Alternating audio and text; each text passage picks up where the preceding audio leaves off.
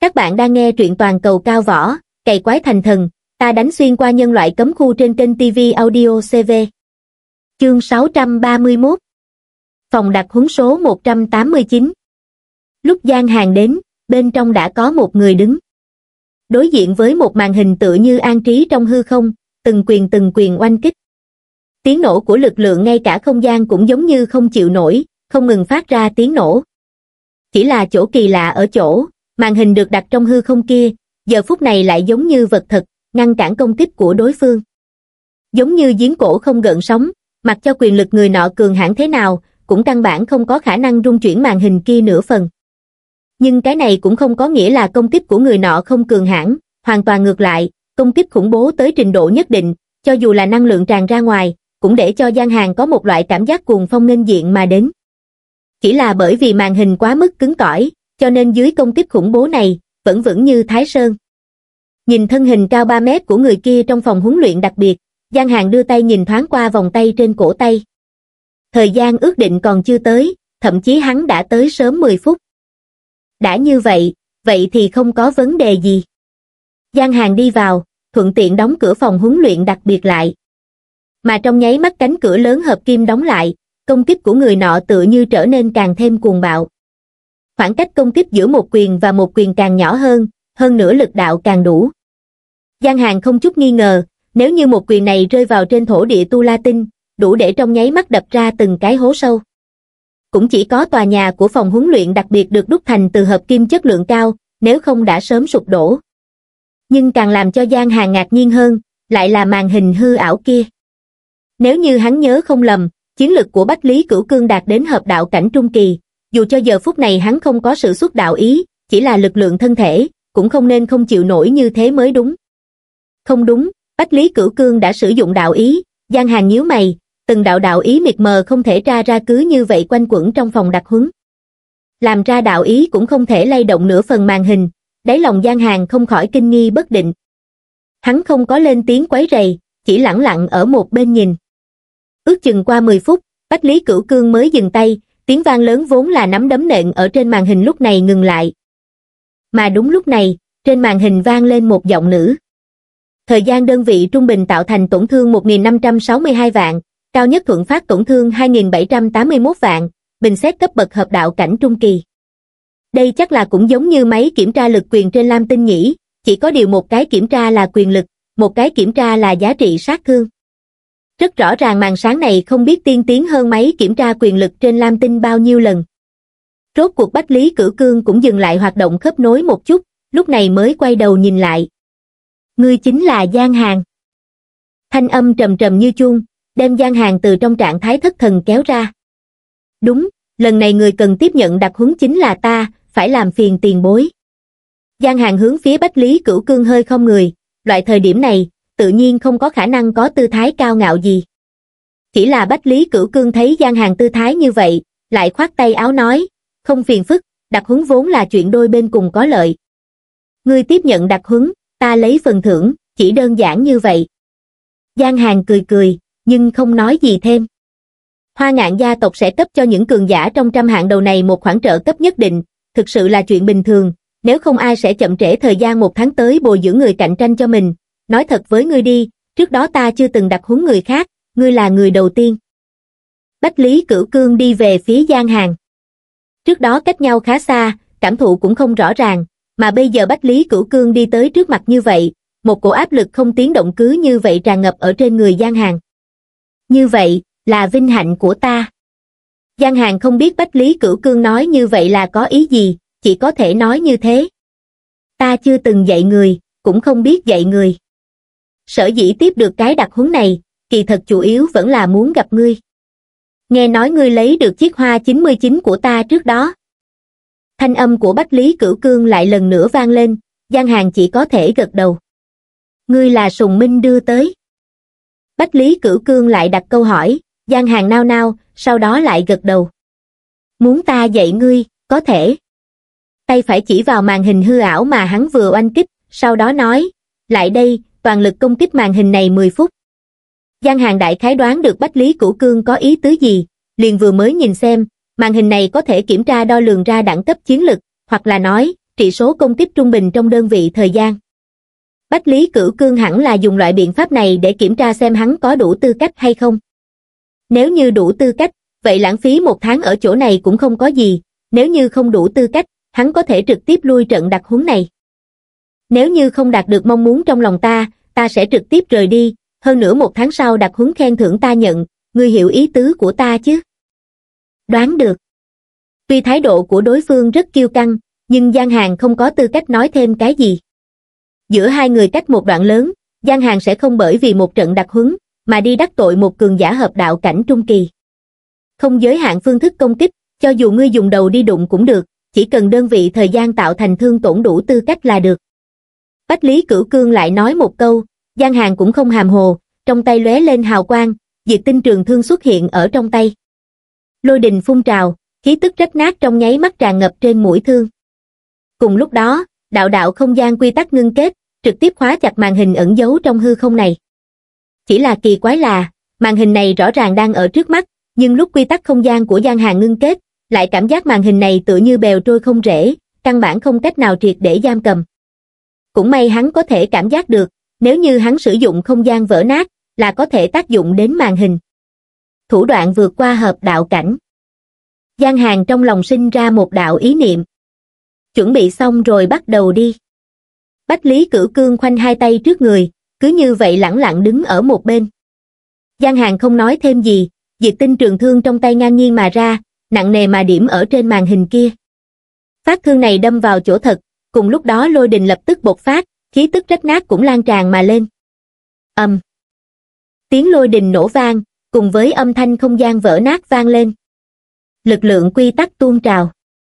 Đơn vị mà Bách Lý Cửu Cương đưa ra là 10 phút, cho nên một kích rơi vào thực tế, diệt tinh trường thương chạm vào liền thu lại, lại đâm ra một thương.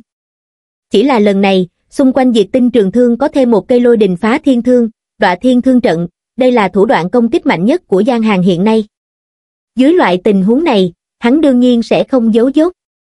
Ngoại trừ năng lượng bộc phát ác chủ bài cuối cùng này, ngay cả Tu La Giang Hàng cũng đã kích hoạt. Không hề giữ lại đem tất cả lực lượng của mình, trút xuống trên màn hình này. Bách Lý Cửu Cương vẫn không có lên tiếng quấy rầy, chỉ lẳng lặng khoanh hai tay trước người nhìn. Trong mắt hắn, chiến lực mà Giang Hàng bộc phát ra căn bản không có nửa điểm uy hiếp, thậm chí, lúc này Giang Hàng bộc phát ra, vẻn vẹn chỉ là dùng để khảo thí có thể đáng giá hắn lãng phí một tháng thời gian đi dạy. Hoặc là nói, Bách Lý Cửu Cương đơn thuần chỉ muốn nhìn xem tiềm lực của Giang Hàng. Đồng thời tiện thể bán cho Sùng Minh một cái mặt mũi. Chỉ là vốn dĩ ý nghĩ cực kỳ đơn giản, nhưng khi nhìn thấy đọa thiên thương trận do Giang Hàng triệu ra, ánh mắt không khỏi có thêm vài phần động dung.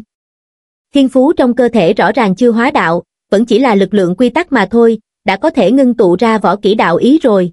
Hơn nữa nếu như hắn nhớ không lầm, trong tư liệu trước đó xem qua biểu hiện, Giang Hàng đến từ một tinh cầu sinh mệnh vắng vẻ, trước đó tinh cầu này cũng không có bị đăng ký trong danh sách, càng không có liên hệ cùng tinh quốc, chiến lực mạnh nhất trên cả tinh cầu vẫn là Giang Hàng. Hoàn cảnh tu hành như thế này, tuyệt đối không thể nào là trước đó hắn đã từng tu luyện qua võ kỹ đạo ý, nói cách khác, võ kỹ tự sáng tạo, lông mày của Bách Lý Cửu Cương hơi nhíu lại. Khó trách, có thể làm cho Sùng Minh chú ý như thế, thậm chí không tiếc gửi tin nhắn cho hắn, để hắn hỗ trợ trong non một phen. Thiên tư này, ngược lại có tư cách xông vào 5.000 hạng đầu toàn bộ tu la tinh.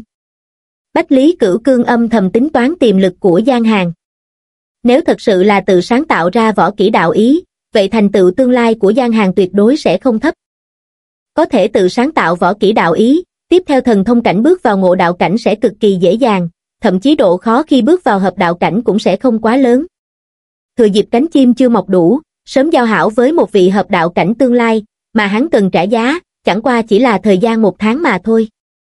Cuộc làm ăn này, hình như không lỗ, Giang Hàng không biết Bách Lý Cửu Cương đang suy nghĩ gì, giờ phút này hắn đặt tất cả lực chú ý lên màn hình hư ảo trước mặt. Điều động lực lượng quy tắc, vào lúc này bị Giang Hàng thúc đẩy đến cực hạn. Trước đó, hắn chưa từng có loại trạng thái này. Cuối cùng, vẫn là bởi vì cảnh tượng khi nắm đấm của Bách Lý Cửu Cương oanh kích màn hình này, mang đến cho Giang Hàng xúc động. Tận mắt chứng kiến một tồn tại hợp đạo cảnh trung kỳ điên cuồng oanh tạc màn hình 10 phút, Giang Hàng không ngốc, trong đầu đã nhớ kỹ toàn bộ đoạn hình ảnh này. Mà bây giờ, Thôi diễn đang điên cuồng tái diễn hình ảnh oanh kích vừa rồi của Bách Lý Cửu Cương trong đầu hắn. Động tác phân tích, Phương thức phát lực cùng với khống chế năng lượng hoặc là nói đạo ý đây là một loại cảm giác huyền diệu khó giải thích. Giang Hàng cũng không thể nói là bởi vì cái gì, nhưng sự thật là, theo Thôi Diễn không ngừng phân tích động tác trước đó của Bách Lý Cửu Cương, Giang Hàng mơ hồ bắt được chút gì đó. Hình như, phương thức phát lực của Bách Lý Cửu Cương càng khoa học hơn, có thể điều động lực lượng toàn thân ở mức độ lớn nhất. Giang Hàng không biết nguyên nhân, nhưng chiếu mèo vẽ hổ, vẫn như cũ để hắn tìm được một chút cơ hội. Chỉ là chỉ thông qua một đoạn video, cho dù thôi diễn cường hãn như thế nào, cũng không cách nào truy cứu đến cùng. Âm. Âm. Âm. Tiếng lôi đình nổ vang, tiếng không gian phá diệt đang vào một chỗ, trong gian phòng này càng là các loại năng lượng, quy tắc lực chấn động. Mặc dù không có tìm được phương thức phát lực chính xác nhất, nhưng chỉ là mô phỏng theo động tác, Giang Hàng có thể rõ ràng cảm nhận được, mình đối với điều động lực lượng quy tắc, tăng lên gần hai thành, nói cách khác, cũng bởi vì một bộ phương thức phát lực của Bách Lý Cửu Cương này, để uy năng công kích của Giang Hàng, trực tiếp tăng lên hai thành, đọa thiên. Giang Hàng trong miệng chợt quát một tiếng, một cây trường thương so với vừa rồi càng thêm ngưng thực xuất hiện ở phía sau hắn, ầm ầm, tất cả lôi đình phá thiên thương đều tác dụng ở trên màn hình hư ảo trước mắt. Ngay cả không khí cũng trở nên nặng nề hơn rất nhiều dưới uy áp cực hạn này. Tiếc nuối duy nhất là, màn hình hư ảo này vẫn không có chút dao động. Nhưng mà một màn này, Bách Lý Cửu Cương bên cạnh nhìn thấy lại hơi nhíu mày. Phương thức phát lực này của Giang Hàng. Tiểu tử này đang học hắn, phát hiện này khiến Bách Lý Cửu Cương càng thêm kinh ngạc với thiên phú của Giang Hàng. Hơn nữa quan trọng hơn là, hắn có thể nhìn ra, lúc vừa mới bắt đầu tuy rằng Giang Hàng đột nhiên thay đổi phương thức phát lực, mà dẫn đến lực lượng nguyên bản phát huy ngược lại bị hạn chế. Nhưng theo thời gian không ngừng trôi qua, tiểu tử này đang không ngừng lĩnh ngộ kỹ xảo phát lực, năng lượng cùng quy tắc lực quanh kích ở trên màn hình, cũng bắt đầu trở nên càng ngày càng cường hãn. Thật đúng là để cho hắn bắt được một tia bí quyết, thân là hợp đạo cảnh trung kỳ, ánh mắt của Bách Lý Cửu Cương không thể nói là không cao. Loại tồn tại cấp bậc này, lật tay liền có thể đánh xuyên qua lam tinh, ánh mắt làm sao có thể sẽ kém, huống chi Giang Hàng đang dùng, còn là thứ hắn am hiểu nhất. Chiến lực đã khôi phục tới 8 thành rưỡi. 9 thành. 9 thành rưỡi. 10 thành. Nhanh chóng lĩnh hội bí quyết trong đó như vậy, chiến lực hiện tại thậm chí không kém hơn so với vừa rồi. Vẫn còn tăng lên. Bách Lý Cửu Cương càng xem càng nhíu mày chặt. Thẳng đến 10 phút sau, theo một giọng nói vang lên trên màn hình, Giang Hàng mới dừng động tác trong tay lại. Thời gian đơn vị trung bình tạo thành tổn thương 178 vạn, cao nhất thúng phát tổn thương 281 vạn, bình xét cấp bậc ngộ đạo cảnh sơ kỳ. Nghe con số này, Giang Hàng cũng không biết là tốt hay là kém, chẳng qua so sánh với trị số 1-2 ngàn vạn của Bách Lý Cửu Cương vừa rồi, hắn ngay cả số lẻ của người ta cũng không có. Ngẫm lại cũng thấy bình thường. Mặc dù không có cách nào so sánh với trị số thương tổn của Bách Lý Cửu Cương, nhưng ít ra, phá trăm vạn không phải sao, lắc lắc tay, Giang Hàng thu hồi diệt tinh trường thương, quay đầu nhìn về phía Bách Lý Cửu Cương. Chỉ là nhìn thấy lông mày nhăn lại của đối phương, lại làm cho trong lòng Giang Hàng đột nhiên nhảy một cái. Quả nhiên, Bách Lý Cửu Cương mở miệng chẳng khác nào gửi thư cự tuyệt cho Giang Hàng. Ngươi cũng đã biết, tùy tiện thay đổi phương thức phát lực của mình, hơi không cẩn thận, sẽ để cho cơ bắp của ngươi bị hao tổn, thậm chí quy tắc nghịch xung. Trong mắt ta, ngươi vừa mới làm như vậy, chính là một tên ngu xuẩn, đang khoe khoang thiên phú của mình. Vẫn là hai tay ôm trước người, mặt vẫn không chút thay đổi. Giang Hàng hít sâu một hơi, đáy lòng thầm nói một câu đáng tiếc. Nhưng mà vẫn chấp tay nói, là ta không đủ tư cách, chậm trễ thời gian của tiền bối. Hắn đáng tiếc, không phải bởi vì Bách Lý Cửu Cương không muốn dạy hắn, mà là bởi vì chỉ thiếu một chút nữa, hắn đã có thể lĩnh ngộ phương thức phát lực của Bách Lý Cửu Cương. Nhưng trong thời gian ngắn như vậy, có thu hoạch như thế đã đủ cho Giang Hàng thỏa mãn. Nhưng mà, nhìn ra, ngươi thật sự có mấy phần thiên phú, ta nguyện ý cho ngươi một cơ hội. Ba ngày, ta sẽ dạy ngươi ba ngày, nếu như trong vòng ba ngày này, ngươi có thể tự lĩnh ngộ chỗ cơ sở phát lực như thế, ta đây sẽ dạy ngươi thêm một tháng. Cũng đừng nói ta ỷ mạnh hiếp yếu, nếu như ba ngày sau ngươi không cách nào lĩnh ngộ, ta sẽ rời đi. Giang Hàng vốn tưởng rằng mình đã không còn cơ hội, nhưng nghe được lời này của Bách Lý Cửu Cương, trên mặt không khỏi vui vẻ. Không bị hoàn toàn từ bỏ, chứng minh còn có cơ hội. Trên thực tế, hiện tại hắn đã tìm được một chút đầu mối, nếu như có thể lại lần nữa xem xét phương thức phát lực của Bách Lý Cửu Cương, hoặc là được bản thân hắn tự mình chỉ điểm, liền có thể nhập môn. Có lẽ, sau khi nhập môn, hệ thống có thể trực tiếp tạo ra võ kỹ mới cũng không chừng. Đến lúc đó không cần Bách Lý Cửu Cương chỉ đạo, Giang Hàng liền có thể làm được. Có thể nhìn ra, thiên phú của ngươi ở phương diện này còn có thể, mặc dù chỉ nhìn một đoạn thời gian, nhưng có thể nhanh chóng nắm lấy bí quyết như thế, thật đúng là không phải người bình thường có thể làm được. Bách Lý Cửu Cương nhìn Giang Hàng, lần này không có khoanh hai tay nữa, mà duỗi ra một tay, nắm đầu vai Giang Hàng. Ân! Cốt linh của ngươi nhỏ như vậy. Dường như đã nhận ra cái gì, Bách Lý Cửu Cương nao nao, ánh mắt nhìn về phía Giang Hàng không khỏi thay đổi vài phần. Trẻ tuổi như vậy, liền đại biểu cho tính dẻo rất mạnh. Ý nghĩ vốn ở trong lòng Bách Lý Cửu Cương giờ phút này đã bị đánh tan. Buông lỏng tay đang nắm bả vai Giang Hàng ra, sau đó lên tiếng nói, ta luyện cái này, không thích hợp với ngươi.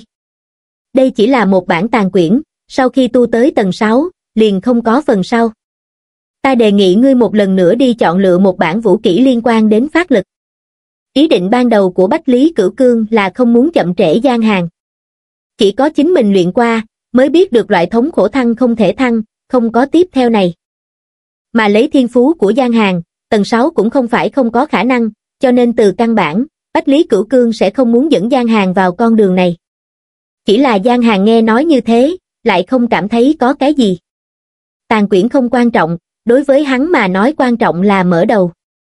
Nếu có thể mở đầu này ra, còn lại giao cho hệ thống thì tốt rồi.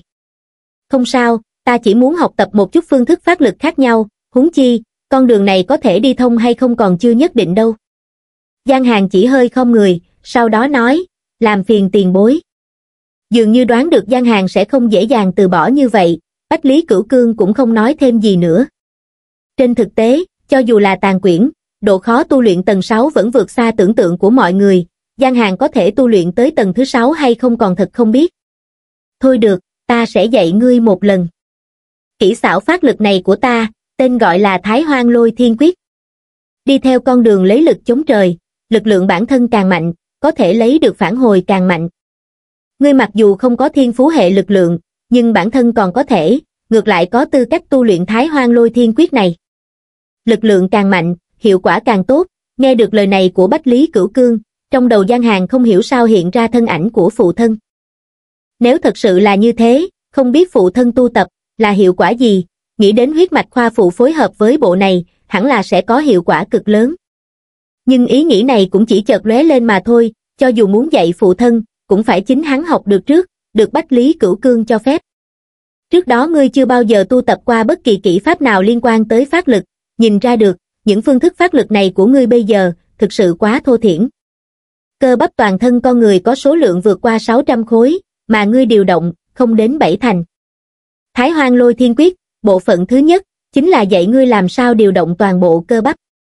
Như vậy, lực lượng nhục thân của ngươi có thể ở trên cơ sở hiện tại, tăng lên vượt qua năm thành. Mà nguyên lý huấn luyện cũng rất đơn giản.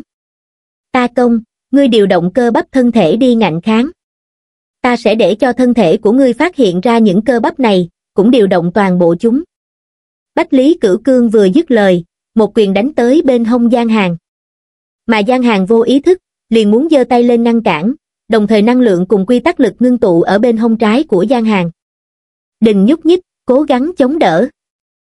Theo thanh âm của Bách Lý Cửu Cương hạ xuống, một cổ đạo ý nhà nhạc cưỡng ép đè tan lực lượng quy tắc mà Giang Hàng ngưng tạo ở bên hông.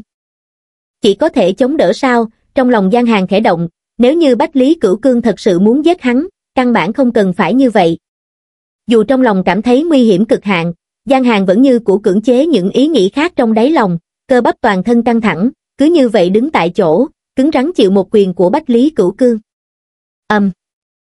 Một khắc khi nắm đấm tiếp xúc đến thân thể Giang Hàng, nguy cơ trong nháy mắt tiêu tán, mà một quyền nhìn như thế đại lực trầm rơi vào bên hông Giang Hàng, vẻn vẹn chỉ để cho hắn kêu trên một tiếng, cũng không có tạo thành tổn thương thực chất gì. Nhưng mà bị đấm một cú như vậy, cảm thụ tuyệt đối sẽ không tốt. Trong nháy mắt, Giang Hàng cảm giác mình giống như không thở nổi. Cẩn thận cảm thụ chỗ đau. Bách Lý Cửu Cương lại không cảm thấy có cái gì, nhìn Giang Hàng nửa ngồi trên mặt đất lên tiếng nói, bên hông là một trong những nhược điểm lớn nhất của võ giả, đồng thời cũng là bộ vị khó rèn luyện nhất. Lực lượng của một quyền này, nếu rơi vào nơi khác, ngươi sẽ không có bất kỳ cảm giác đau đớn nào, nhưng hết lần này tới lần khác chính là rơi vào bên hông, sẽ để cho ngươi như vậy. Đứng lên, Tiếp tục. Đợi đến khi ngươi biết cơ bắp trên dưới toàn thân không có rèn luyện đến ở nơi nào, ta sẽ dạy cho ngươi một bộ đoán thể pháp. Phù. Giang Hàng thở vào một cái, mới vừa rồi cảm giác đau đớn bên hông có chút giảm bớt. Sự thật đúng như Bách Lý Cửu Cương nói, chính hắn cũng có thể cảm thụ được. Khoảnh khắc một quyền vừa rồi đánh lên, cơ bắp vốn như kéo căng của hắn, lại căn bản không có nửa điểm tác dụng chống cự. Hoặc là nói, cơ bắp bên hông trái của hắn căn bản cũng không có bị kích hoạt. Không hổ là tồn tại dựa vào lực lượng thân thể để chiến đấu, Giang Hàng chỉ có thể nói là thụ giáo. Không chút nào khoa trương mà nói, mặc dù Bách Lý Cửu Cương giờ phút này cùng Giang Hàng cùng chiến lực, Giang Hàng cũng không có khả năng thắng được đối phương. Bởi vì giờ phút này, trong mắt Bách Lý Cửu Cương, khắp nơi trên người hắn đều là sơ hở, mà nhục thân của Bách Lý Cửu Cương đã được rèn luyện đến cực hạn. Đùng, đùng, đùng. Trong phòng huấn luyện đặc biệt, thời khắc có tiếng vang trầm đục truyền đến. Đây là lần đầu tiên Giang Hàng thảm như vậy. Mấu chốt là, hắn không thể hoàn thủ, chỉ có thể đứng tại chỗ ngạnh kháng. Hết lần này tới lần khác mỗi một quyền của Bách Lý Cửu Cương đánh ra, điểm rơi đều ở nơi phòng ngự yếu kém nhất của hắn. Đau. Quá đau, nhưng ngược lại với đau đớn trên thân thể, lại là niềm vui sướng trong lòng Giang Hàng. Có chút sơ hở nếu không bị Bách Lý Cửu Cương làm rõ, bản thân Giang Hàng còn không biết. Giờ phút này, Giang Hàng chỉ có thể nói không có một tồn tại hợp đạo cảnh nào là đơn giản. Trận, ẩu đả, đơn phương này kéo dài suốt 2 giờ. Mà 2 giờ sau, Giang Hàng toàn thân xanh biếc, tím tái, hầu như không có chỗ nào lành lặn. Ừ sau khi trở về mua thêm mấy phần dịch dinh dưỡng, ngâm một chút. Sau đó có thể tu tập bộ đoán thể pháp này. Bách Lý Cửu Cương cho Giang Hàng một thứ giống như tiền xu, trên thực tế lại là một thẻ lưu trữ số liệu, đồ vật nhỏ như vậy, dung lượng đạt đến một ZB. Chủ nhân, ngài làm sao vậy? Giang Hàng đẩy cửa đi vào, Lâm Loan đang lau chùi đồ đạc trong phòng quay đầu nhìn lại, chỉ là nhìn thấy bộ dáng của Giang Hàng, lập tức kinh hãi lên tiếng. Quần áo trên người đã rách nát dưới một quyền lại một quyền của Bách Lý Cửu Cương, giờ phút này Giang Hàng để trần thân trên, trên cơ bắp hình dọc nước tràn đầy vết máu ứ động. Không có việc gì. So với Lâm Loan lo lắng, Giang Hàng lại không cảm thấy có cái gì. Những vết thương trên người này chỉ là máu ứ động mà thôi, không có thương tổn đến căn bản, lấy lực khôi phục của sinh mệnh, thậm chí không cần dược tề phụ trợ, Giang Hàng đều có thể khôi phục hoàn hảo trong vòng một đêm. Ta đi tắm rửa trước. Giang Hàng chào hỏi Lâm Loan một tiếng, sau đó đi vào phòng tắm. Kỳ thật tắm rửa đối với gian Hàng mà nói đã không cần thiết, quy tắc chi lực chấn động toàn thân một phen, so với tắm rửa càng thêm sạch sẽ. Nhưng ngâm mình trong bồn tắm vẫn có chỗ tốt. Nước chung quy là nguồn gốc sinh mệnh, mà nước ấm càng có thể làm cho thân thể triệt để trầm tĩnh lại. Dịch dinh dưỡng phối hợp với nước ấm, mới có thể hoàn toàn dung nhập toàn thân, hiệu quả thậm chí còn tốt hơn so với uống. Vừa xả nước vào bồn tắm, Giang Hàng vừa cắm ổ cứng di động cỡ đồng xu mà Bách Lý Cửu Cương vừa giao cho hắn vào thiết bị chiếu trong phòng tắm. Ánh sáng lóe lên, một màn sáng được chiếu ra, là một nữ tử mặc áo da bó sát người, nhưng làn da trên mặt là màu xanh lục. Tiến giai đoán thể pháp thứ 276 bộ, trọn bộ đoán thể pháp tổng cộng 1671 động tác, nhằm vào cơ bắp rèn luyện gia nan mới sáng tạo ra, hiệu quả thượng thừa. Tiếp theo bắt đầu phân tích động tác đầu tiên. Dưới ánh mắt chăm chú của Giang Hàng, nữ tử kia chậm rãi làm động tác thứ nhất. Động tác ít nhiều có chút quá dị, trước đây Giang Hàng chưa bao giờ thấy qua, nhưng không thể không thừa nhận, thân thể nữ tử này tính mềm dẻo thật sự rất tốt. Nhìn lướt qua nước trong bồn tắm lớn đã sắp đầy, Giang Hàng lấy ra một bình dịch dinh dưỡng từ trong không gian hệ thống, đổ vào. Trong nháy mắt dịch dinh dưỡng màu xanh nhạt tiếp xúc với nước, liền tràn đầy toàn bộ bồn tắm, từng điểm hình quang màu vàng rực rỡ ở trong đó. Chất lỏng màu xanh nhạt chỉ là nước thuốc phụ trợ, trợ giúp mở lỗ chân lông, chảy vuốt tụ huyết, mà chút ánh huỳnh quang này mới thật sự hữu dụng. Cởi chiếc quần rách nát ra, Giang Hàng nằm vào bồn tắm. Cảm giác lạnh lẽo sau khi tắm thuốc mở lỗ chân lông ra, tràn vào thân thể. Rốt cuộc là sản phẩm của khoa học kỹ thuật đứng đầu, loại dược tề có thể sản xuất hàng loạt này, hiệu quả so với quy tắc sinh mệnh của Giang Hàng còn tốt hơn một chút. Nhưng nói cho cùng, quy tắc sinh mệnh và dịch dinh dưỡng không phải cùng một thuộc tính. Tâm tư hơi trầm xuống, quy tắc sinh mệnh cũng vào lúc này gia trì tác dụng quanh thân Giang Hàng. Dịch dinh dưỡng phối hợp với quy tắc sinh mệnh, máu ứ động trên người Giang Hàng đang biến mất với tốc độ mắt thường có thể thấy được. Mà Giang Hàng đã đắm chìm trong cảm giác toàn lực chữa trị thân thể này. về phần hình ảnh đoán thể thuật kia, sau này nhìn lại cũng giống vậy, dù sao hiện tại Giang Hàng ngủ hay không cũng giống nhau, luyện một đêm đoán thể thuật cũng chưa hẳn không thể. Nhưng Giang Hàng không biết, lúc này ngoài cửa phòng tắm, Lâm Loan cầm một cái khăn mặt, trên mặt hiện lên đỏ ửng, đang do dự có nên đi vào hay không. Là nô bộc, nàng biết rất rõ mình nên làm gì. Những người và chuyện mà nàng tiếp xúc từ nhỏ, đều nói cho nàng biết tính chính xác của những việc này. Nếu như tương lai chủ nhân phụ thuộc có thể trở thành một cường giả, chính là địa vị nô bộc, cũng tuyệt đối sẽ không kém. Thậm chí còn có nô bộc trở thành chính thức, nhưng nói trắng ra, Lâm Loan chỉ là một tiểu nữ sinh 18 tuổi, chính là gặp qua nhiều hơn nữa, thời điểm thật đến trên người mình, nội tâm tóm lại nhịn không được sẽ sợ sệt nửa phần. Cố lên, Lâm Loan, ngươi có thể. Tiểu cô nương đỏ mặt, tự mình động viên mình. Chủ nhân đẹp trai như vậy, người lại dịu dàng, ngươi có gì không vừa lòng chứ? Nghĩ đến đây, Lâm Loan không chút do dự đẩy cửa đi vào. Trong phòng tắm sương mù vần quanh, sương mù màu xanh nhạt tràn đầy cả gian phòng. Chủ nhân. Thanh âm nhát gan của Lâm Loan vang lên, để cho Giang Hàng từ trong trạng thái đắm chìm lui ra. Ân. Giang Hàng nhìn lướt qua phía Lâm Loan, tuy rằng khí vụ vần quanh, nhưng Giang Hàng vẫn có thể tin tường nhìn thấy hết thảy trong phòng. Nhìn thân thể bị khăn tắm bao trùm trên người Lâm Loan, Giang Hàng không nghi ngờ chút nào. Nếu lúc này hắn nói cái gì, ngay sau đó Lâm Loan có thể tiến vào ngâm thuốc tắm. Ách, cái gì đó, giúp ta cái khăn lông kia là được, sau đó ngươi đi ra ngoài đi. Sợ Lâm Loan lại làm ra quyết định khác người gì, Giang Hàng vội vàng lên tiếng nói. Tuy rằng hiện tại hắn chỉ cần ngoắt tay một cái là có thể triệt để chiếm hữu đối phương, nhưng Giang Hàng không muốn. Giống như Khương Tri Ngư sẽ không làm chuyện có lỗi với hắn, cho dù bây giờ cách Khương Tri Ngư không biết bao xa, hắn cũng sẽ không làm chuyện có lỗi với Khương Tri Ngư. Lâm Loan nghe được lời nói của Giang Hàng hơi ngẩn ra, sau khi phản ứng lại thì đem khăn lông trong tay khoác lên bên cạnh bồn tắm, sau đó đỏ mặt lui ra ngoài, từ đầu tới đuôi đều không nói gì nữa. Cũng may, nha đầu này không lần làm chuyện gì mất lý trí. Nói trắng ra, loại cô nam quả nữ này, ở chung một phòng, dưới tình huống phòng tắm, tâm trí của Giang Hàng tuy rằng coi như cứng cỏi, nhưng tóm lại nhiều hơn vài phần khác thường. Ninh tâm tĩnh khí, cưỡng ép ném một màn vừa rồi ra sau đầu, Giang Hàng lại lần nữa hấp thu dịch dinh dưỡng trong bồn tắm. Chỉ trong 10 phút ngắn ngủi, dịch dinh dưỡng đã hấp thu sạch sẽ, phụ trợ quy tắc sinh mệnh, khiến vết bầm trên người Giang Hàng biến mất. Lực lượng quy tắc quanh thân chấn động, rút nước ra, cầm lấy khăn mặt xoa xoa thân thể, Giang Hàng từ trong bồn tắm lớn đi ra. Lại từ trong không gian hệ thống lấy ra một bộ quần áo mới, Giang Hàng đi qua tắt hình chiếu. Vết thương trên người đã lành, tiếp theo nên tu luyện đoán thể thuật.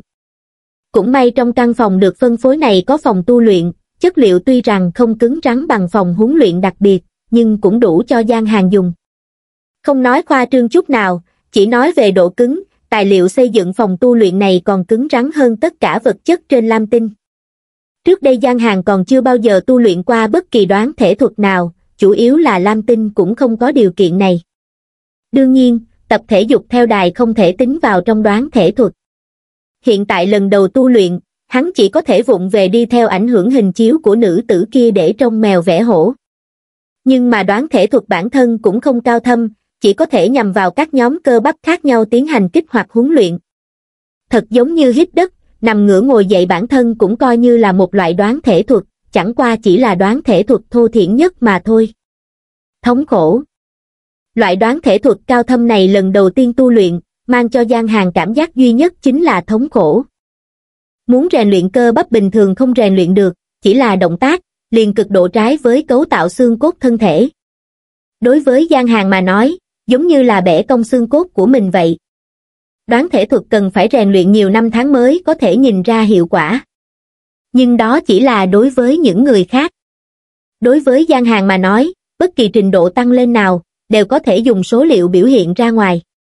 Khổ tu cả đêm, đổi lấy là số liệu bốn chiều trong thân thể Giang Hàng tăng vọt gần 200 điểm, mà hơn 180 điểm số liệu này, tự động tăng thêm lực lượng, thể chất cùng với nhanh nhẹn, ngược lại là số lượng tinh thần lực không có tăng lên. Trong đó lực lượng và thể chất gia tăng nhiều nhất. Đây là một số liệu đủ để cho người ta kinh hỉ. Nhưng nghĩ lại cũng có thể hiểu được. Dù sao đây là lần đầu tiên Giang Hàng tu luyện đoán thể thuật, giống như là một tờ giấy trắng, muốn vẽ ở phía trên rất dễ dàng, vừa mới bắt đầu tăng lên tự nhiên cũng là lớn nhất. Nhưng như vậy cũng đủ rồi. Dựa vào đoán thể thuật để thu hoạch điểm thuộc tính nhiều hơn nhiều so với đã tọa tu luyện, dưới loại tình huống này, đoán thể thuật tự nhiên thành con đường chủ yếu gian hàng thu hoạch thuộc tính trong thời gian ngắn. Thẳng đến khi gian hàng thông qua đoán thể thuật đem những bắp thịt chưa từng khai phá kia đều tăng lên tới trình độ nhất định, mới có thể dần dần dời đi trọng tâm. Nhưng như vậy cũng đã đủ rồi. Giang Hàng chưa bao giờ là loại người tham lam. Ngược lại là Bách Lý Cửu Cương, ngày thứ hai sau khi nhìn thấy Giang Hàng biến hóa, đáy lòng càng kinh ngạc hơn. Tuy rằng một tia đề thăng này của Giang Hàng ở trong mắt hắn không coi là cái gì, nhưng Giang Hàng chỉ là cơ sở kém, cũng không có nghĩa là thiên phú của hắn kém. Dưới tình huống tự học, có thể có tiến bộ như thế đã là không dễ. Mà giờ phút này Giang Hàng ở trong mắt Bách Lý Cửu Cương chính là một thiên tài nền móng chưa đánh chắc, cũng đã xây nhà. Hắn hiện tại cần phải làm, chính là giúp Giang Hàng một lần nữa quay đầu lại, nện những nền móng không có nện vững chắc kia.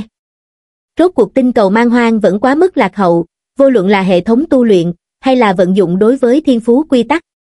Những ngày kế tiếp, ta sẽ dùng sức hơn, chính ngươi chịu đi. Thái độ của Bách Lý Cửu Cương thay đổi, Giang hàn nhìn thấy. Tuy rằng kế tiếp rất có thể sẽ so với ngày đầu tiên càng thảm hại hơn, nhưng Giang Hàng đối với chuyện này lại không có nửa lời oán hận, bởi vì tất cả những gì Bách Lý Cửu Cương làm, cuối cùng vẫn là hắn được lợi.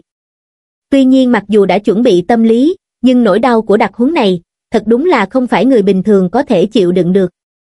Mỗi ngày mỗi ngày trở về, Giang Hàng đều là mặt mũi bầm dập, chẳng qua ngâm thuốc tắm một phen sau đó sẽ khôi phục như lúc ban đầu, sau đó lại tu luyện một đêm đoán thể thuật. Lặp lại như thế, ngay cả Lâm Loan cũng đã quen với dáng vẻ thê thảm mỗi ngày của Giang Hàng, tuy rằng nàng không biết Giang Hàng mỗi ngày ra ngoài đều làm gì, nhưng mỗi lần Giang Hàng trở về, nàng đều giúp Giang Hàng đổ nước ấm cùng khăn mặt. Sau đó Lâm Loan không tiếp tục làm ra chuyện cuốn khăn tắm đi vào nữa, hai người ở chung cũng giống như trở lại trạng thái lúc trước. Nhưng rất rõ ràng, Lâm Loan ở chung với Giang Hàng, càng thoải mái hơn. Loại tình huống này là kết quả tốt nhất, ít nhất theo Giang Hàng, Lâm Loan nhiều nhất chỉ có thể làm tiểu muội muội, trừ cái đó ra, không cho phép nửa điểm vượt qua. Cuộc sống như thế kéo dài suốt một tháng. Mà tư cách đặc huấn đạt được ở tầng thứ 11, dưới tình huống này, xem như đã sử dụng xong. Cuộc sống nhìn như bình thản không có chút gợn sóng, thiên phú của Giang Hàng cũng không có bao nhiêu tăng lên, thậm chí có thể nói không có chút tiến bộ nào. Nhưng trên thực tế, thu hoạch một tháng này của Giang Hàng, căn bản không kém gì ở giả ngoại tàn sát hoang thú, không nói những cái khác, chỉ nói thu nhập mỗi ngày hơn 180 điểm thuộc tính, liền kéo dài một tháng, tuy rằng trị số phía sau bắt đầu hạ xuống, nhưng vẫn duy trì ở khoảng 150. Theo dự tính của Giang Hàng, tốc độ tăng lên này, hẳn là còn có thể duy trì ít nhất 3 tháng. Trong một tháng này, điểm thuộc tính của Giang Hàng đã thu hoạch được trọn 5.000 điểm, thu hoạch như thế, Giang Hàng đã thỏa mãn, huống chi còn có chỗ tốt khác. Giờ phút này, hắn chỉ cảm thấy toàn thân nhẹ nhàng, ngay cả lực lượng phát huy, đều muốn càng thêm thông thuận hơn so với trước đó. Mặc dù Bách Lý Cửu Cương không dạy hắn phương thức phát lực, nhưng lại giúp hắn nện vững chắc cơ sở. Không chút nào khoa trương mà nói, số liệu chiến lực của Giang Hàng không có tăng lên bao nhiêu, nhưng lại có thể đem chiến lực phát huy ra trình độ lớn nhất. Loại thu hoạch ẩn tính này, ngược lại để cho Giang Hàng được lợi vô cùng. Giang Hàng, chiến cơ đã được chữa trị xong, ngươi có thể tới chiến cơ. Ngày cuối cùng khi huấn luyện đặc biệt, vòng tay của Giang Hàng vang lên, nhìn lướt qua tin tức, trên mặt Giang Hàng không khỏi vui vẻ. Được rồi, đặc huấn đến đây là kết thúc đi. Lúc Giang Hàng nhìn về phía vòng tay, Bách Lý Cửu Cương cũng nhìn thoáng qua vòng tay, sau đó lên tiếng nói. Bây giờ ngươi đã có thể chịu đựng được phần lớn công kích, còn lại, chỉ cần ngày đêm tu luyện đoán thể thuật là được. Vừa vặn thời gian cũng không sai biệt lắm. Bách Lý Cửu Cương lên tiếng, Giang Hàng chấp hai tay lên, hướng về phía Bách Lý Cửu Cương không người cảm ơn. Song phương bèo nước gặp nhau, giống như Bách Lý Cửu Cương nói, hắn hoàn toàn có thể vung tay rời đi, nhưng lại thật sự phụng bồi Giang Hàng đặt huấn một tháng. Chỉ điểm này, Bách Lý Cửu Cương liền có ân với Giang Hàng. Không cần như thế. Bách Lý Cửu Cương nhìn thái độ của Giang Hàng, trên mặt không khỏi lộ ra ý cười, một bàn tay lớn khoác lên vai Giang Hàng nói, thiên phú của ngươi cũng được, chỉ là cơ sở quá kém. Cũng may thiên phú chưa hóa đạo, hết thảy đều có cơ hội vãn hồi. Sở dĩ không dạy ngươi phát lực, cũng là nguyên nhân này. Chờ sau khi thiên phú của ngươi hóa đạo, chân chính bước vào ngộ đạo cảnh, đến lúc đó liên hệ với ta, ta sẽ dạy ngươi phát lực. Tuyệt đối đừng tự mình thử, hiểu không? Một tháng này, quan hệ của song phương ngược lại kéo vào không ít, nói thật, Bách Lý Cửu Cương thật sự thưởng thức Giang Hàng. Thiên Phú không nói, cấp bậc lễ nghĩa cũng rất đúng chỗ. Cho nên giờ phút này mới chủ động nhắc nhở hai câu. Đã rõ, Bách Lý tiền bối. Bách Lý Cửu Cương nói như vậy, tất nhiên có đạo lý của hắn, Giang Hàng sẽ không tùy tiện tự cho là thông minh. Được rồi, đi thôi, vừa vặn ta cũng muốn đi đến thị trường chiến cơ, cùng nhau đi qua đi. Bách Lý Cửu Cương đã nói như vậy, Giang Hàng cũng thuận thế đáp ứng. Thời gian qua đi một tháng, lần nữa nhìn thấy chiếc Hoa 99, Giang Hàng mới biết vì sao Hoa 99 có thể trở thành máy bay chiến đấu đứng đầu nhất do gia tộc Hoa Ngạn đưa ra. Lúc này đâu còn bộ dáng tàn phá thành một đống linh kiện trước đó, không khác gì máy mới. Có thể nhìn ra tay nghề của bì hầu không tệ, nếu không thì đống linh kiện đó không thể nào biến thành như vậy được. Thân phi cơ dạng dọc nước, phi hành trong bầu khí quyển có thể giảm bớt lực cản của bầu khí quyển ở mức độ lớn nhất. Giang Hàng, ta nói cho ngươi biết, chiến cơ này chỉ là vật liệu chữa trị, liền 10 vạn, ngươi nhất định phải tăng giá, nếu không đơn hàng này ta sẽ thua lỗ. Bì hầu vừa thấy Giang Hàng liền muốn kể khổ, chỉ có điều không đợi Giang Hàng mở miệng, Bách Lý Cửu Cương đã nói trước. Liền như là giá gốc đi, nếu như ta nhớ không lầm, giá cả lúc trước đáp ứng là 13 vạn. Vậy thêm 3 vạn này, cho hắn thêm hai bộ pháo quan hạt nhân. Giang Hàng không biết hạch quan pháo là cái gì, nhưng nhìn bộ dáng bì hầu đau thịt kia, liền biết giá trị tuyệt đối không thấp hơn 3 vạn hoa ngạn tệ. Nếu không bì hầu cũng không đến mức như thế. Nhưng đối mặt với yêu cầu của Bách Lý Cửu Cương, bì hầu mặc dù đau thịt, nhưng vẫn đồng ý dù sao, toàn bộ nơi này đều là của Bách Lý Cửu Cương, làm ông chủ, Bách Lý Cửu Cương đều đáp ứng, hắn lại làm sao có thể cự tuyệt, nói tỉ mỉ một chút về việc đổi thành chiến cơ. Bách Lý Cửu Cương đưa tay chạm vào trên hoa 99, quay đầu nhìn về phía bì hầu nói. Trước khi chiến cơ bị hao tổn tương đối nghiêm trọng, gần như hoàn toàn báo hỏng. Nhưng mà cũng may động cơ rất hoàn chỉnh, phương diện tốc độ không có tổn hại gì, có thể đạt tới khoảng 8 phần rưỡi chiến cơ hoàn toàn mới, vận tốc đi đường kiểm tra là 3 vạn 6 ngàn km, toàn công suất vận tốc là 4 vạn 8 ngàn km, tốc độ này so với một ít tinh hạm loại nhỏ còn nhanh hơn. Bì hầu nhìn như là đang giải thích với Bách Lý Cửu Cương, nhưng trên thực tế lại nói cho Giang Hàng nghe. Lúc nói đến những điều này, vẻ đắc ý trên mặt hắn biểu hiện rất rõ ràng. Không thể không nói, tổn hại thành bộ dáng kia, sau khi chữa trị còn có thể có số liệu như thế, thực sự đáng quý. Nhưng Bách Lý Cửu Cương mặc kệ những thứ này, tình huống của chiếc hoa 99 này hắn hiểu rõ hơn bất kỳ ai. Phương diện phòng ngự thì sao?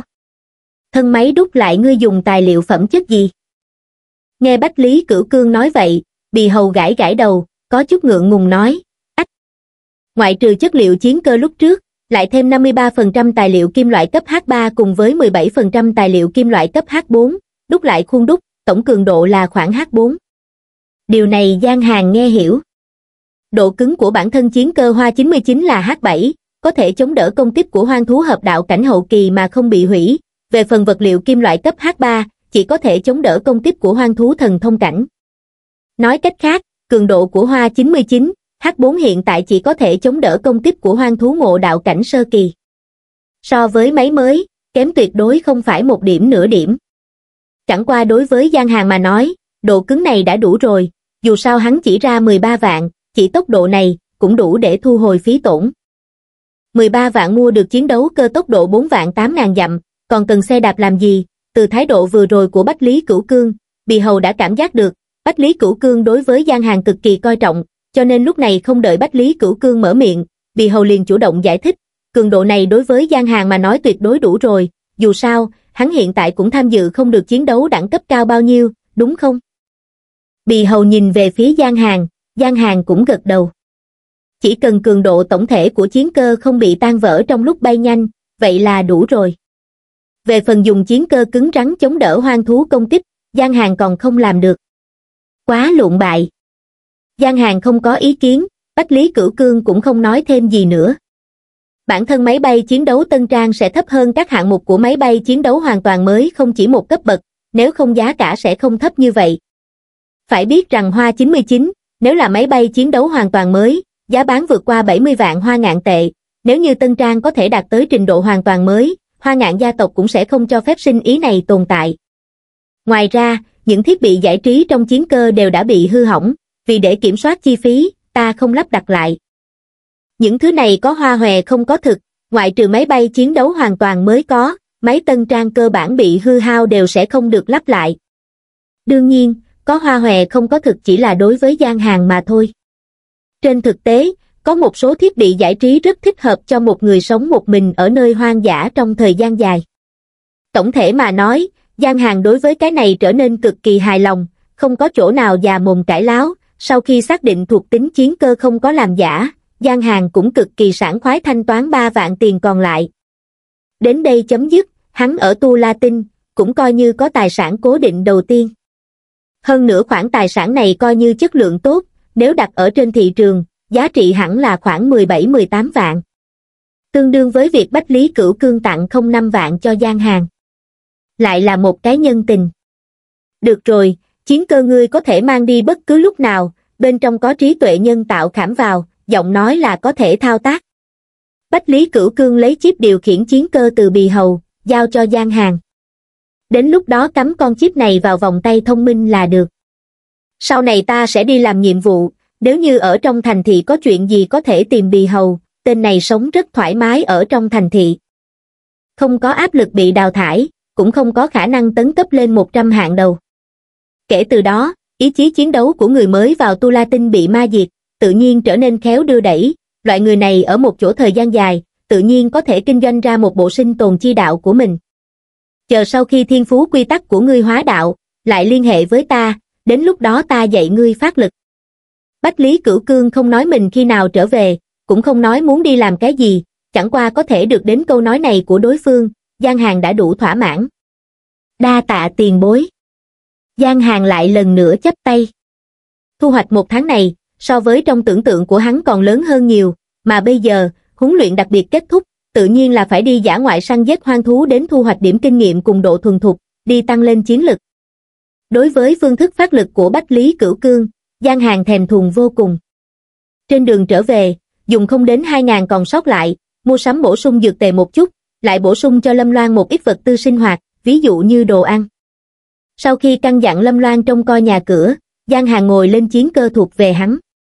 Ghế ngồi chiến cơ là do kim loại ký ức tạo thành, không tồn tại vấn đề lớn hay nhỏ như ghế ngồi, nếu như Giang Hàng nguyện ý, ghế ngồi này có thể triệt để biến thành một cái giường. Bản thân máy bay chiến đấu hình thể không nhỏ, máy bay dài khoảng 40 mét, cao 6 mét, cánh máy mở rộng có thể đạt tới 45 mét. Đại khái không khác mấy so với máy bay chở khách cỡ nhỏ của Lam Tinh. Chỉ là hàm lượng khoa học kỹ thuật, hai bên căn bản không cùng một cấp bậc. Không nói những cái khác, chỉ riêng việc khởi hành tại chỗ, cùng với lơ lửng đứng im, cũng không phải là công nghệ Lam Tinh có thể làm được. Có thể nói, Hoa 99 tập hợp đại bộ phận khoa học kỹ thuật đứng đầu của Hoa ngạn gia tộc, ngoại trừ không cách nào tiến hành lỗ dung nhảy vọt ra, đây chính là một bảo vật khoa học kỹ thuật, đương nhiên, cái này nói là chiến cơ hoàn toàn mới, mà không phải chiếc trong tay gian hàng hiện tại. Nhưng cho dù như thế, hắn cũng rất thỏa mãn. Gọi ra màn sáng giả lập, một tấm bản đồ hiện ra ở trước mặt gian hàng. Chính xác ra, là một tinh cầu chiếu ra, chính là toàn cảnh Tu La Tinh. Nơi quá xa không có cách nào đi, hắn bây giờ cũng không có tư cách đi. Nhưng mà ở dưới tình huống chiến lực bản thân đủ để ứng đối với hoang thú ngộ đạo cảnh, đánh không lại còn có thể chạy trốn, gian hàng cũng có thể thích hợp mà định địa điểm xa một chút. Ở đây đi. Sau khi Tu La Tinh được gian hàng phóng đại, tìm kiếm xung quanh thành thị đã có quyết định. Tuy vẫn ở trong rừng rậm, nhưng phương hướng lại trái ngược. Thành phố được xây dựng ở khu vực trung tâm của rừng rậm, rừng rậm xung quanh chắc chắn không hề nhỏ. Mà rừng rậm do cây cối cao ngàn mét tạo thành này, tựa như thành giường ấm cho hoang thú sinh sôi. Mặc dù không có hoang thú đẳng cấp cao tồn tại, nhưng thắng ở số lượng đủ nhiều.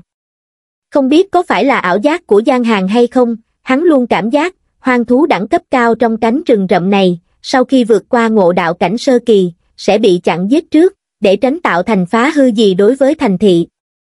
Đương nhiên, với chiến lực của người sống trong thành thị này, đừng nói là hoang thú ngộ đạo cảnh, cho dù là hợp đạo cảnh cũng không thể bước vào nửa bước.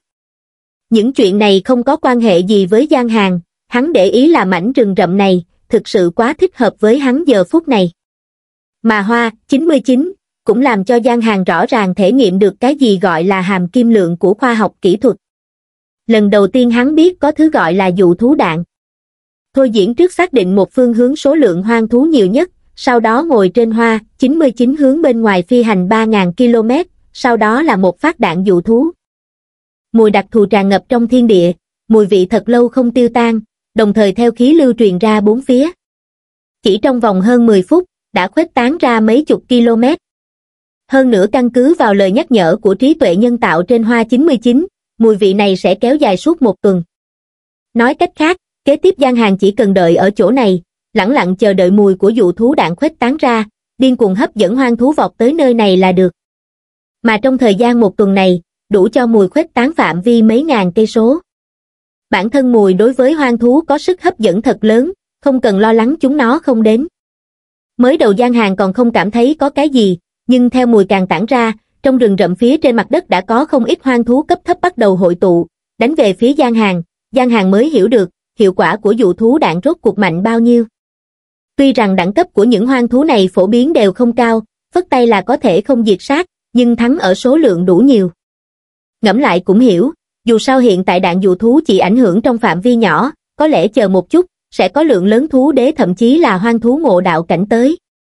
Sự thật đúng như gian hàng dự liệu. Phất tay giải quyết đám thú vương, hoang thú cấp thú hoàng, không lâu sau đó, từng tiếng gầm điếc tai truyền đến.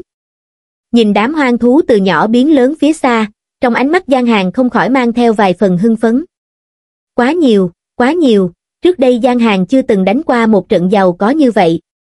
Đếm sơ qua, từ bốn phương tám hướng mà đến, hoang thú cấp bậc thú đế, ít nhất 15 con, hình thể có lớn có nhỏ, thực lực tự nhiên cũng có cao có thấp. Đổi lại là võ giả thần thông cảnh khác, đồng thời đối mặt với hơn 10 con thú đế, chỉ sợ là đã sớm tránh né mũi nhọn, cử chiến cơ rời đi. Nhưng Giang Hà nhìn thấy từng con hoang thú này, trong mắt lại hưng phấn càng ngày càng đậm. Người khác sợ, không có nghĩa là hắn sợ. Tuy rằng thiên phú chưa hóa đạo, nhưng chiến lực của Giang Hàng đã không kém võ giả vừa bước vào ngộ đạo cảnh. Huống chi, hơn 10 con thú đế này, trong đó phần lớn vẫn là thú đế cấp thấp làm chủ, trung cấp cũng không nhiều, chớ nói chi là thú đế cấp cao. Số liệu trong lòng hiện lên, liền đưa ra kết luận, ứng phó được, đã như vậy, vậy thì không có gì đáng nói. Xung phong liều chết là được rồi, diệt tinh trường thương trong không gian hệ thống lóe lên trên tay Giang Hàng, nắm chặt trường thương, ngay sau đó cả người Giang Hàng đã biến mất tại chỗ. Lúc xuất hiện trở lại, trường thương trong tay đã đưa vào trong đầu một con thú đế cấp thấp. Dưới tình huống giết một con hoang thú ngộ đạo cảnh, chính là thú đế cao cấp cũng đã không cách nào mang cho Giang Hàng nửa điểm áp lực, thú đế cấp thấp, chẳng qua chỉ là điểm kinh nghiệm và độ thuần thục biết di động mà thôi. Không khác gì thú vương, thú hoàng. Chỉ một thoáng, năng lượng trong phiến thiên địa này nổ tung, lực lượng quy tắc tuôn ra. Sấm sét cuồng bạo, trong không gian vỡ vụn, ngẫu nhiên sẽ xen lẫn hỏa diễm, băng sương thú đế dẫn động.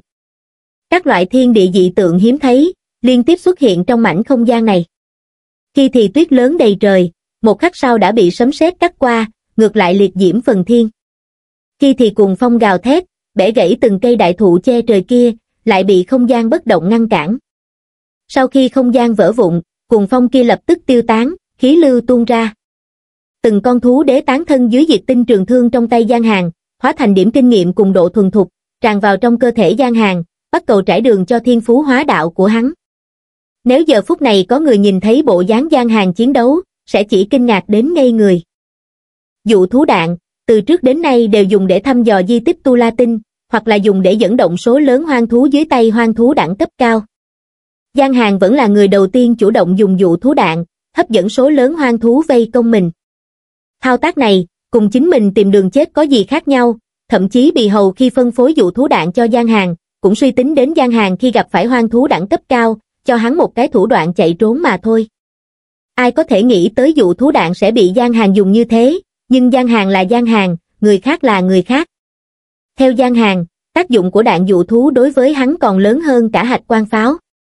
Dù sao phạm vi ứng dụng của đạn dụ thú lớn hơn nhiều so với hạch quan pháo, cái sau chỉ có tác dụng khi giữ mạng, mà hắn rất rõ ràng trong thời gian ngắn sẽ không đi mạo hiểm ra khỏi rừng rậm. Quan trọng hơn là, dụ thú đạn rẻ, một viên mới 400 hoa ngạn tệ, cơ bản chính là giá của một con thú đế cấp thấp.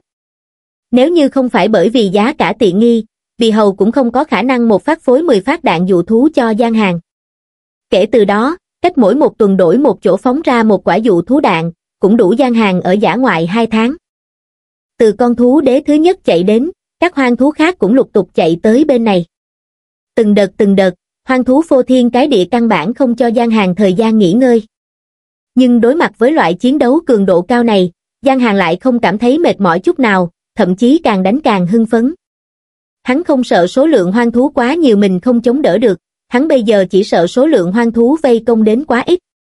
Cho dù số lượng hoang thú có nhiều hơn nữa, hắn cũng hoàn toàn có thể dựa vào thiên phú không gian để quần nhau, mà đi tìm từng con hoang thú, ngược lại là khiến Giang Hàng đau đầu nhất.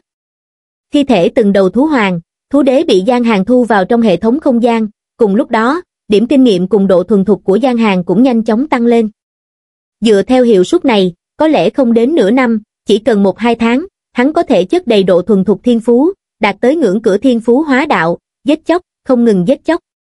Giang Hàng dựa vào 10 miếng dụ thú đạn trên hoa 99, cả người đắm chìm trong giết chóc vô tận. Huyết khí cuồn cuộn không ngừng từ trên thân từng con hoang thú kia tràn vào trong cơ thể Giang Hàng, gia tốc thiên phú tu la lột xác hóa đạo. Thời gian nhoáng một cái nửa tháng liền trôi qua. Đến bây giờ, Giang Hàng đã sinh sống trên tu la tinh tròn 3 tháng. Từ lúc ban đầu mê mang, hiện tại Giang Hàng đã thích ứng sinh hoạt tại tu la tinh. Trên thực tế, ở Tu La Tinh cùng Lam Tinh không có gì khác nhau quá lớn, chỉ là đổi một chỗ khác tiếp tục tàn sát hoang thú mà thôi. Mà nửa tháng này, giúp Giang Hàng tìm được cảm giác vong ngã giết chóc trước đó. Quan trọng hơn là ở chỗ, ở trên Tu La Tinh, chiến lực của hắn tăng lên sẽ chỉ càng nhanh hơn. Không nói những cái khác, độ thuần thục thiên phú của Tu La đã sắp đầy, chỉ thiếu hơn 20 vạn độ thuần thục là có thể thăng cấp lần nữa, mà trong thời gian nửa tháng này, Giang Hàng thông qua 10 phát dụ thú đạn, giết chết vô số hoang thú. Đến bây giờ, hiệu quả phát dụ thú đạn thứ 10 không ngừng suy giảm, là thời điểm nên trở về thành thị một chuyến, bổ sung một chút dụ thú đạn. Một nhóm thú đế cuối cùng. Nhìn hoang thú phía xa chậm rãi biến lớn, Giang Hàng lại thở ra một hơi thật dài. Khoảnh khắc sau đã nắm chặt diệt tinh trường thương trong tay, đạp chân lên không trung, thân thể lao vút đi. Kéo dài nửa tháng giết chóc, cho dù Giang Hàng cực kỳ hưởng thụ loại trạng thái này, nhưng vẫn vì vậy mà đáy lòng mệt mỏi vài phần. Nhưng cũng may, giải quyết xong đám hoang thú này, đẳng cấp thiên phú tu la hẳn là có thể tăng lên. Tất cả đều đáng giá, đợi đến khi thiên phú hóa đạo, Giang Hàng cũng coi như chân chính nắm giữ thủ đoạn ngộ đạo cảnh, nhóm hoang thú mới đến này, thú đế gần như chiếm một nửa. Số lượng như thế, nếu không có dụ thú đạn, lại làm sao có thể làm được, nhưng mà Giang Hàng đối với chuyện này, ai đến cũng không cự tuyệt, chiến lực không bước vào ngộ đạo cảnh, dù là có nhiều hoang thú hơn nữa, cũng rất khó tạo thành uy hiếp gì đối với hắn lôi đình. Không gian. Sức mạnh quy tắc cuồng bạo tàn phá bừa bãi trên người những hoang thú này, từng bộ thi thể ngang nhiên rơi xuống đất, từng luồng huyết khí màu đỏ tươi tràn vào trong hơi thở của gian hàng hóa thành độ thuần thục của tu la. Huyết khí trên tu la tinh thực sự quá nồng đậm. Ngôi sao như tên, đây chính là một viên tinh cầu tràn ngập vết chóc cùng huyết khí. Chỉ càng quét những hoang thú cấp thấp này cũng có thể khiến cho gian hàng thu hoạch nhiều huyết khí như vậy, nếu như càng quét toàn bộ tu la tinh cái khác không có cách nào nói, nhưng trước mắt mà nói, gian hàng thời gian hơn 10 năm tiếp theo, sẽ một mực ở trên Tu La Tinh. Trước tiên là thiên phú Tu La hóa đạo, chờ chiến lực triệt để vững chắc ở sau ngộ đạo cảnh, lại đi khu vực xa hơn. Hoang thú trong rừng rậm đẳng cấp không thấp, nhưng cũng không cao đến đâu, gian hàng tự nhiên không có khả năng ở chung quanh đây lâu. Nếu không phải bởi vì lúc trước chiến đấu với Diễm Linh yêu miêu dựa vào may mắn thủ thắng, gian hàng đã sớm xâm nhập sâu hơn. 27 vạn 22 vạn 16 vạn 8 vạn 4 vạn Đủ rồi. Khi đầu của một con thú đế cuối cùng bị lôi đình tàn phá bừa bãi, trong đầu gian hàng vang lên âm thanh nhắc nhở của hệ thống. Tiên. Chúc mừng túc chủ độ thuần thục tu la thiên phú đã đầy. Tiên. Chúc mừng ký chủ kích hoạt nhiệm vụ tấn thăng thiên phú. Thiên phú đẳng cấp đã đầy, không cách nào tiếp tục thu hoạch điểm kinh nghiệm, ký chủ hoàn thành nhiệm vụ tấn thăng thiên phú xong, thiên phú sẽ tấn thăng thành đạo. Nhiệm vụ thăng cấp thiên phú, tự tay tru sát một con hoang thú ngộ đạo cảnh, phần thưởng nhiệm vụ, mở khóa tư cách thăng cấp thiên phú, thẻ kinh nghiệm tu luyện ít một. Liên tiếp âm thanh nhắc nhở khiến cho Giang Hàng hơi ngẩn ra. Đẳng cấp thiên phú tuy rằng đầy, nhưng không có trực tiếp tấn thăng, ngược lại phát động nhiệm vụ, đã lâu không có kích phát qua nhiệm vụ như vậy. Về phần độ khó của nhiệm vụ này, nói cao không cao, nói thấp không thấp.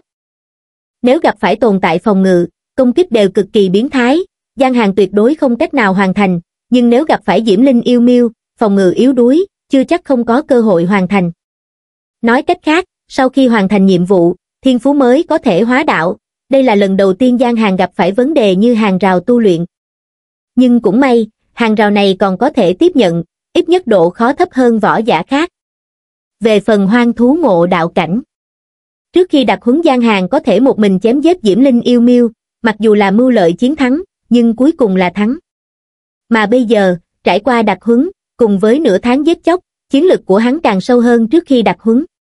Dưới tình huống như thế, sau khi chọn lựa, chưa chắc không có khả năng tru sát đối phương, chu tước.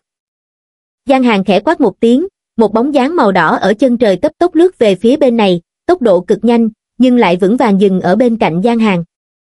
Chính là chiếc hoa 99 kia, bởi vì tổng thể kim loại đúc thành một loại vật liệu gọi là xí lân thạch, toàn thể hiện lên màu đỏ mà được gian hàng đặt tên là Chu Tước. Vòng tay kết nối với trí tuệ nhân tạo trên chiến cơ, một tiếng là có thể gọi đến.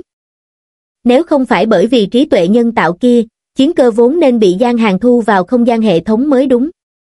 Lại lần nữa leo lên chiến cơ, gọi ra bản đồ. Lần này, Giang Hàng không có đem ánh mắt giới hạn ở trong rừng rậm, mà là biên giới rừng rậm, cùng một ngọn núi lớn tương liên.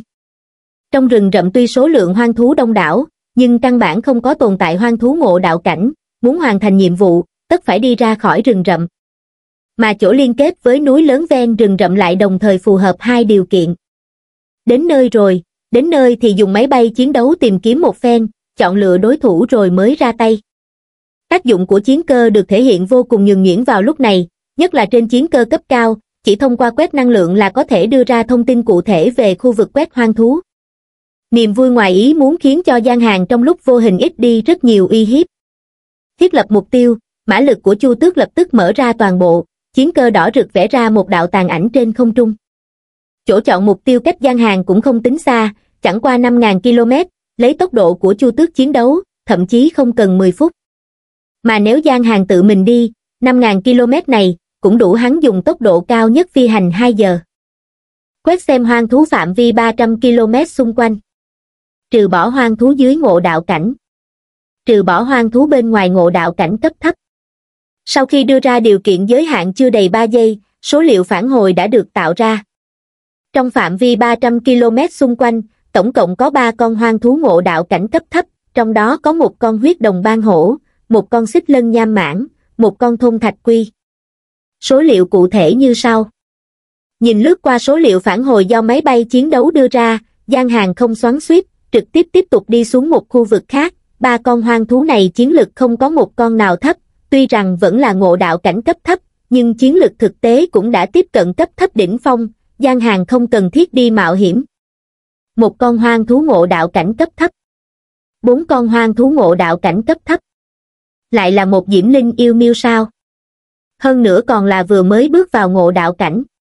Nhìn xem chiến cơ đưa ra nhắc nhở, trong lòng gian hàng lập tức vui vẻ. Chỉ là địa thế núi cao này, tóm lại không hẹp hòi như trong đăng thiên tháp tốc độ của đối phương lại sẽ được phát huy ra cực lớn. Nhất định phải một kích đắc thủ. Nếu thấy hay thì nhớ like và đăng ký kênh để ủng hộ mình nha.